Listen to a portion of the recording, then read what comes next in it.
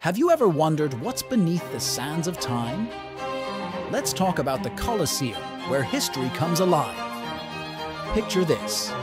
It's ancient Rome, and this massive amphitheater stands tall, witnessing gladiator battles, animal hunts, and even naval battles.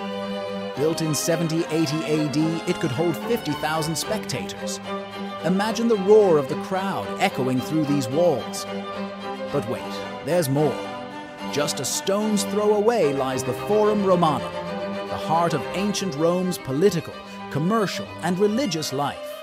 Here, emperors gave speeches, citizens gathered, and markets bustled.